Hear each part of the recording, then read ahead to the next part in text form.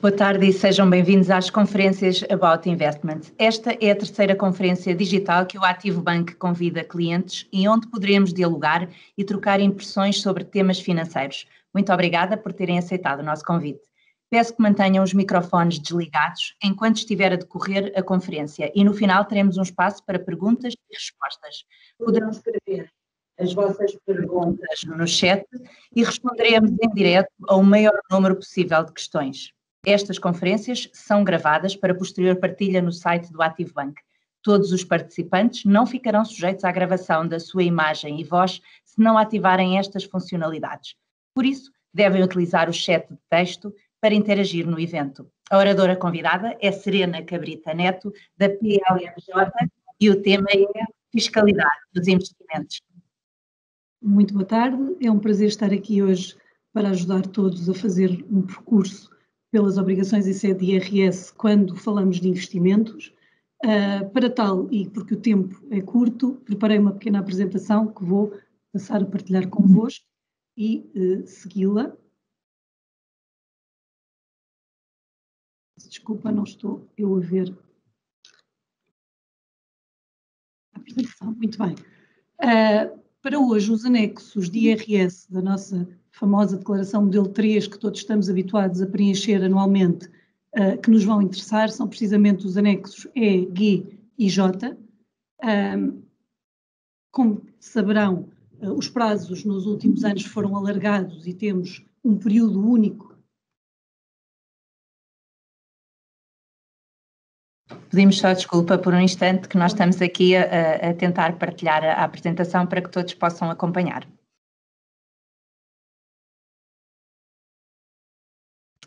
Já, já temos a apresentação, já está partilhada, Serena. Pode continuar, obrigada. Peço, peço desculpa, que acontece que estou aqui, a sala de espera com os pop-ups das pessoas que estão a entrar e não consegui ver que não estava a partilhar. Uh, como vos dizia, estamos todos habituados a entregar a nossa declaração de IRS, uh, que agora temos um período único entre 1 de abril e 30 de junho de cada, de cada ano. Um, esse, essa, essa uh, Peço desculpa, tenho os pop-ups todos das entradas.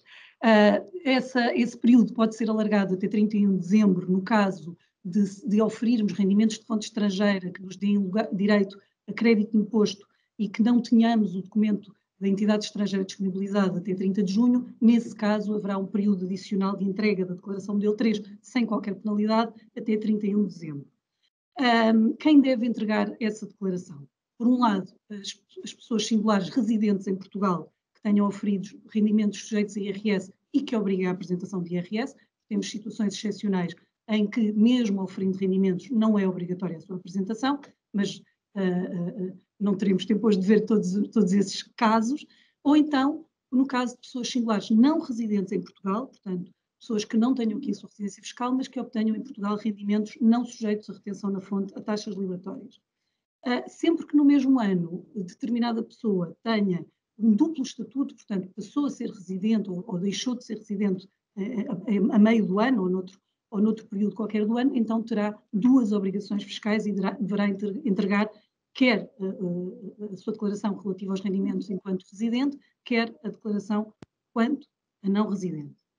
Um, obviamente, se quem, quem, receber só rendimentos uh, tributados a taxas liberatórias fica dispensado de entregar a declaração se não optar pelo englobamento desses uh, rendimentos. Uh, englobamento poderemos comumente uh, pensar que será a declaração para ser tributado a taxas, às taxas gerais de IRS. Portanto, havendo só rendimentos que já foram tributados a 28%, e só esses, então haverá dispensa de entrega de, de, de declaração modelo 3, mas já veremos mais em pormenor.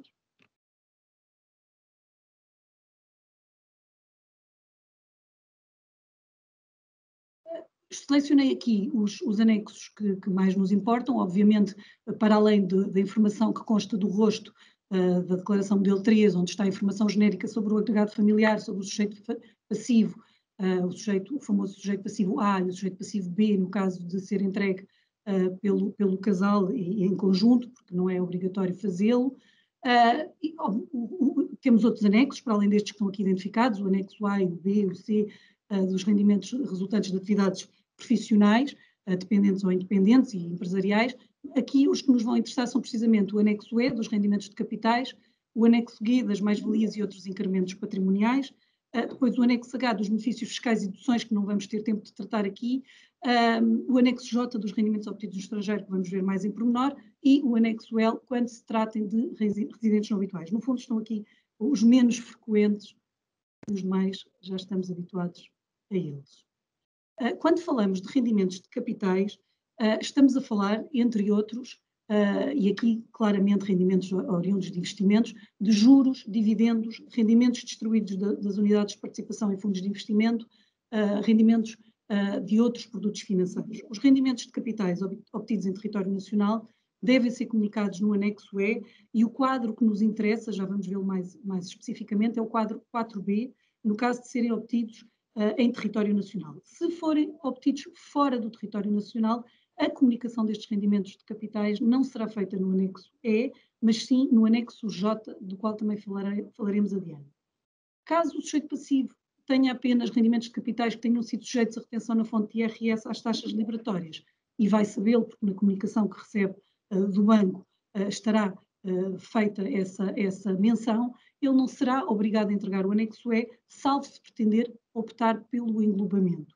O englobamento é então sujeitar uh, esses rendimentos às taxas gerais de IRS, as taxas progressivas por escalões, que podem ir de 14,5% até 48%, às quais acrescerão taxas adicionais no caso de rendimentos superiores a determinados montantes.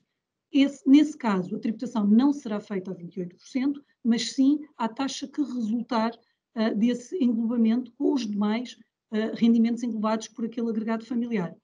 Portanto, isto implica que se faça sempre uma ponderação se vale a pena ou não, no meu caso particular e no caso particular do meu, do meu agregado, se eu, se eu declarar conjuntamente, fazer esse englobamento, porque só valerá a pena, economicamente falando ou financeiramente falando, se a minha taxa final efetiva for inferior a 28%.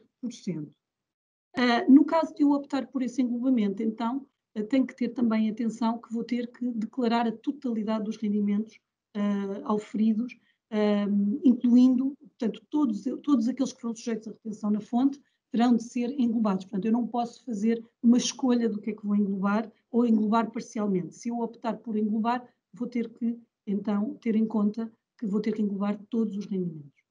Caso não se exerça a opção pelo englobamento, uh, devem apenas preencher o 4A se ainda assim pretenderem declarar que rendimentos oferiram e que não vão englobar, mas obviamente esta menção é, é, é meramente informativa porque podem nesse caso ficar, ficam nesse caso dispensados uh, de apresentar declaração, uh, neste caso o anexo E.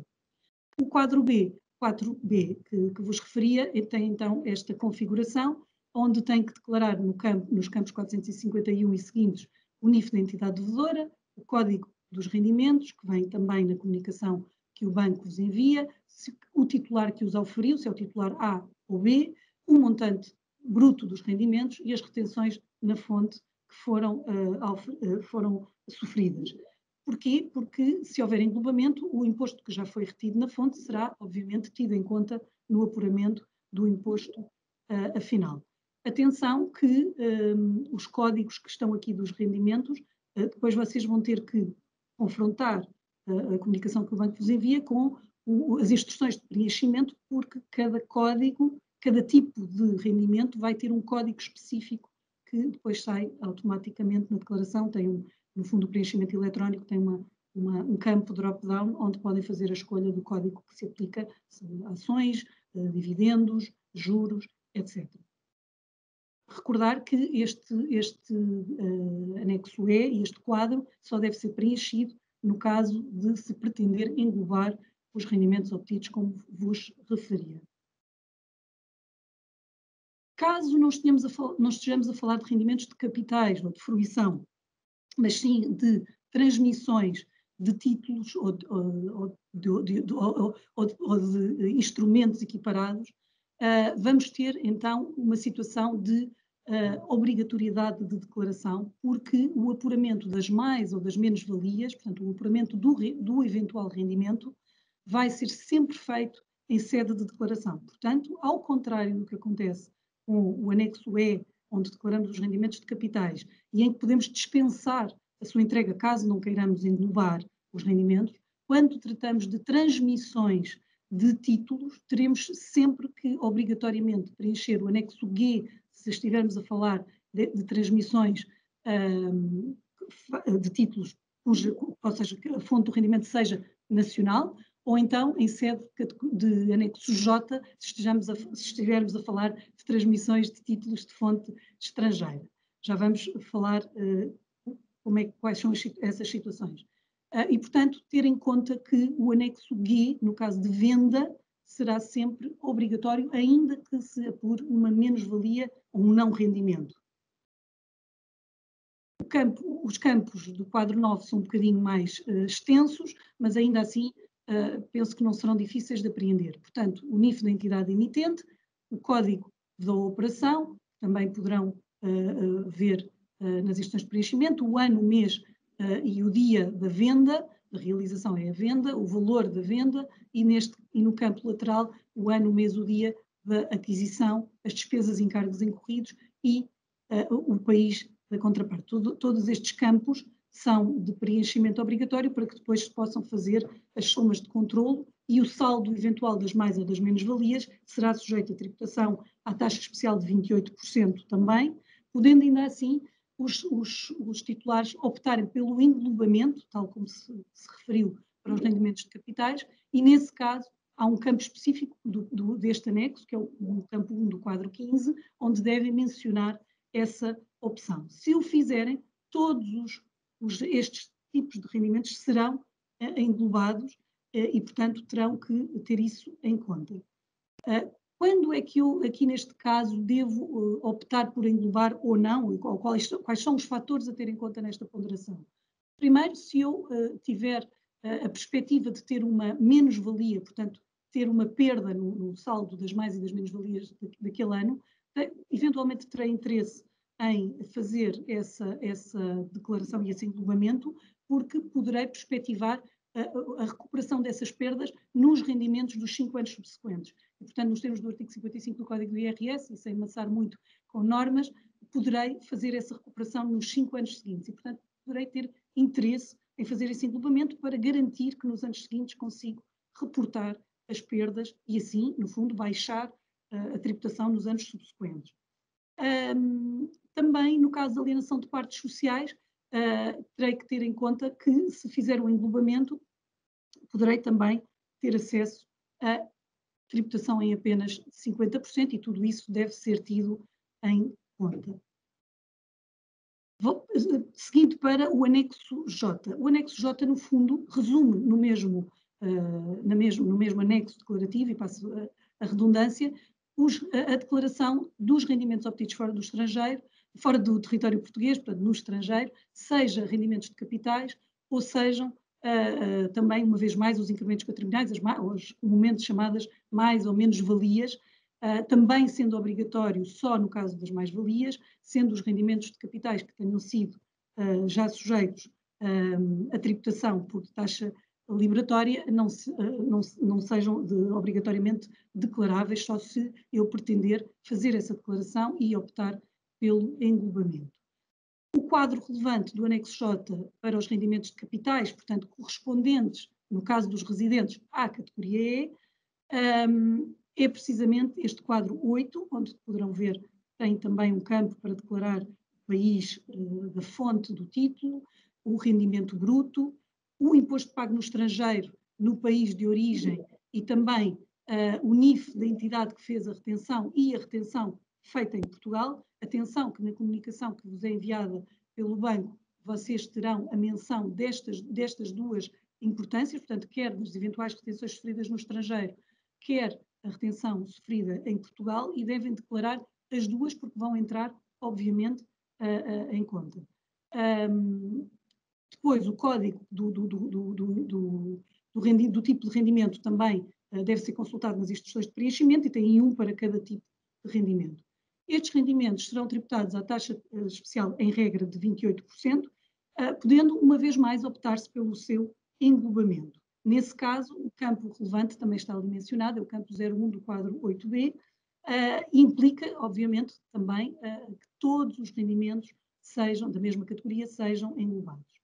Um, essa, essa opção pelo englobamento aqui uh, terá que ter em conta, obviamente, não só se, se a taxa que eu vou oferir efetiva final é inferior ou superior a 28%, mas também se eu tenho imposto pago fora de Portugal e que quero recuperar em Portugal. Porque para fazer essa recuperação por via do método crédito de imposto, que é feito depois uh, no anexo dos benefícios fiscais, uh, a, sua a, sua declaração e o apuramento final terá em conta esse crédito por dupla tributação internacional, uh, teremos que declarar e englobar o rendimento para poder oferir dessa recuperação do imposto sofrido no estrangeiro. O imposto retido em Portugal, se eu optar pelo englobamento, vai ser depois também considerado nas contas finais como imposto já entregue por conta do imposto devido afinal. Uh, no quadro 9.2, uh, já uh, o, o, que vamos declarar não são rendimentos de capitais de fonte estrangeira, mas sim a declaração dos rendimentos da categoria B, os incrementos patrimoniais, mais ou menos valias, oriundas da, da, alienação de valores mobiliários, e tal como nos rendimentos de fonte nacional, devemos fazê-lo obrigatoriamente ainda que os títulos em causa, os valores mobiliários, sejam de fonte estrangeira. Um, os códigos também uh, podem ver nas instruções de preenchimento um, e sempre que uh, todos os rendimentos cujo código uh, não esteja previsto para o quadro 92A devem ser inscritos no quadro 92B. Estes rendimentos são tributados à taxa especial de tributação desculpa, de 28%, ou tratando-se de paraísos fiscais de 35%, portanto, se os títulos eh, alienados forem de, de, paraísos fiscais como tal identificados pela legislação portuguesa, a taxa será de 35% e não de 28%, podendo o titular destes rendimentos optar, uma vez mais, pelo englobamento, fazendo as considerações que já fizemos anteriormente para os demais uh, rendimentos sujeitos ao, ao englobamento opcional. A opção pelo englobamento, uma vez mais, implica que todos os rendimentos deste tipo sejam declarados. E agradeço e fico disponível para algumas questões. Passo a palavra à Elsa. Muito obrigada, Serena, por, pela, pela, pela sua apresentação. Uh, nós, já, nós já temos aqui algumas perguntas e eu vou começar então por, uh, por colocá-las. Uh, temos aqui a Mariana Nogueira Pinho que pergunta qual a lógica de declarar rendimentos operações nos anexos E e G ou no anexo J? Muito bem, uh, boa pergunta. Os, os, anexos E e G destinam-se um, a declarar a declaração de rendimentos auferidos de fonte portuguesa. Vou, dando um exemplo, por exemplo, uh, dividendos distribuídos por uma sociedade uh, com sede em Portugal. Um, o anexo J vai servir, tem uma dupla função no fundo, porque vou agregar para rendimentos de fonte estrangeira, fonte não portuguesa, fora do território nacional, uh, valores mobiliários que não sejam de fonte nacional, agrega quer os rendimentos de capitais, quer os rendimentos de mais-valias.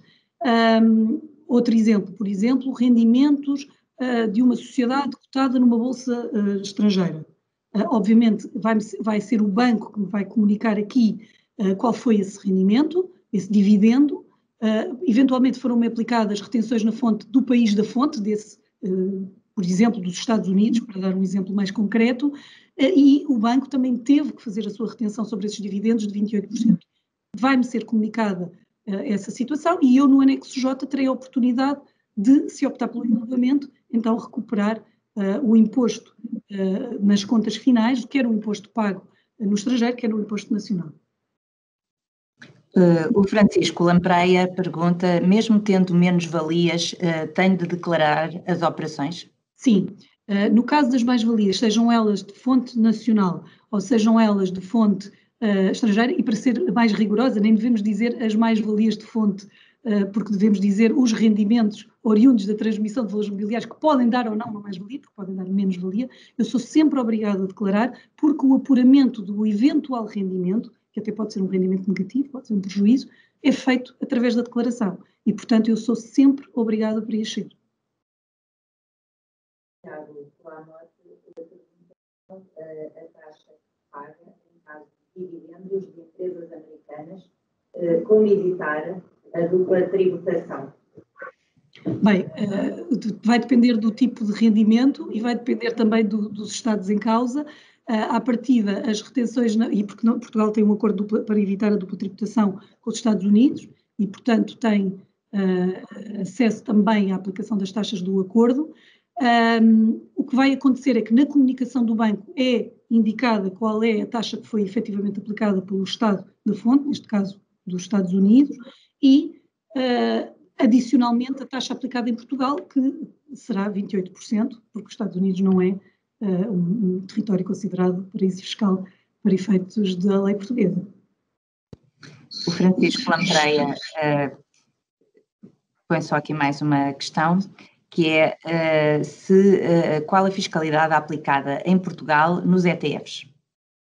Bem, os ETFs são tratados em Portugal como os demais rendimentos de capitais, como outros valores mobiliários. À partida, eles vão ter uma, uma, uma tributação idêntica à dos demais rendimentos, de 28%. Normalmente, comumente, estes produtos são de fonte estrangeira e, portanto, deverão ser declarados no anexo J, se se optar, se se optar obviamente, pelo seu englobamento. A Célia pergunta se o englobamento uh, tem de incluir os dividendos recebidos. Vamos ver, os dividendos, eh, o englobamento é sempre opcional. Se eu optar por, por, por fazer englobamento, então terei que declarar todos os meus rendimentos que potencialmente fossem, eh, estariam sujeitos a englobamento. O Jorge Costa pergunta se as mais-valias sobre uh, as ações são tributadas na totalidade ou em 50%. Bem, eh, aí já temos que uh, considerar se são de fonte estrangeira, de fonte nacional ou de fonte estrangeira. À partida, uh, tem que repetir a pergunta, Elsa, desculpe. As? Foram vendas? As mais-valias sobre as ações são tributadas na totalidade ou em 50%? 50%. Se forem micro ou pequenas empresas, a taxa é de 28%, mas poderá ser de 14% se forem micro micro ou pequenas empresas não cotadas em bolsa.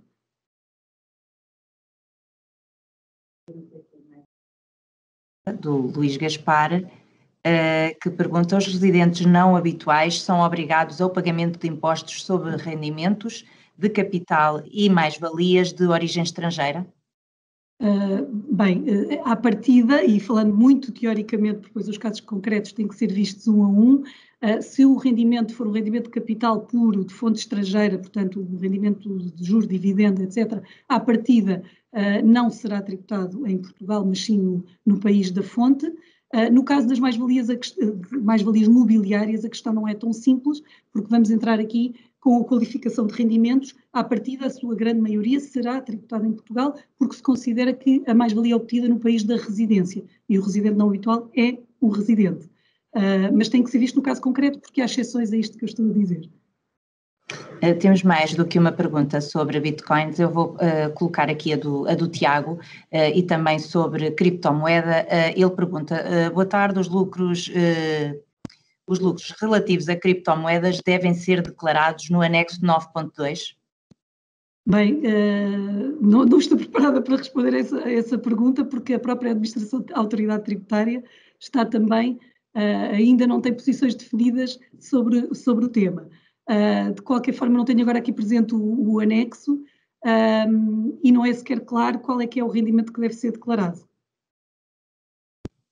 O Marco Afonso uh, diz que, por engano, vendi ações e realizei uma perda. Como posso declarar essa perda de modo a poder usar essa perda para pagar menos imposto com as mais-valias? Neste, uh, o saldo que se fez uma, se teve um, no mesmo ano no mesmo exercício, operações em que teve ganhos e em que teve perdas, o saldo vai compensar por si só, porque o que vai surgir depois é um saldo já compensado no próprio ano. Se ainda assim o saldo que resulta desse ano for um saldo final negativo, se optar pelo englobamento, com todas as consequências que isso tem do ponto de vista das taxas e, e, do facto de ter que englobar depois todos os rendimentos da mesma natureza, um, vai depois, nos cinco anos seguintes, poder, uh, no fundo, reportar, deduzir, aproveitar essas perdas dessa menos-valia nos anos subsequentes. De qualquer forma, quando falamos de ganhos e de perdas, estamos, no próprio exercício já é feita essa compensação. Se recordarem o, o anexo que eu há pouco partilhei, tem um saldo final uh, e, portanto, uh, é o saldo das mais e das menos-valias que vai ser sujeito à tributação a 28%. Nós temos bastantes perguntas para responder, mas uh, o nosso programa realmente tem só uh, meia hora. No entanto, nós ficaremos de tentar responder a, toda, a, a, a todos os participantes depois por, por, por, escrito e não aqui em direto. Uh, antes de nos despedirmos, se calhar coloco aqui mais uma pergunta que, do Paulo Monteiro. Qual a fiscalidade relacionada com CFDs, por exemplo, de índices, forex e matérias-primas? Bem, mais uma vez, depende se estivermos a falar, uh, se estivermos a falar de uh, rendimentos de, de, transmissão e se eles são de fonte estrangeira, uma vez mais teremos que tratar esses índices como verdadeiras transmissões de títulos e tributados aqui como incrementos patrimoniais. Estivemos a falar de fruição de produtos, no fundo, de valores mobiliários que têm em conta a flutuação de mercados ou de índices, uh, vão ser tratados como valores mobiliários, rendimentos da categoria E, se forem de fonte nacional, rendimentos da categoria uh, de, de, de mais-valias declarados no anexo J, se forem de fonte estrangeira. Muito obrigada. Uh, e chegamos assim ao fim desta conferência, que esperamos que tenha sido esclarecedora. Enviaremos, enviaremos durante esta semana esta, esta apresentação a todos os participantes, também responderemos a todas as perguntas que ficaram por responder. Obrigada a todos por terem participado e desejo a todos a continuação de uma ótima semana e mantenham-se seguros. Obrigada.